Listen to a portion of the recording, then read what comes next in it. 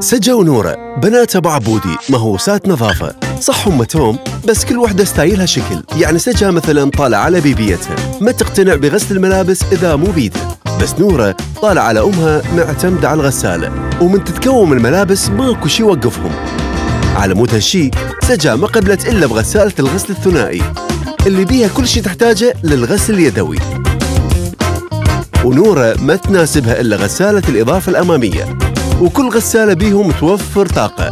تشتغل على المولدة وتغسل بكفاءة بالمي البارد. على مود هالشي سامسونج يعيش وياهم.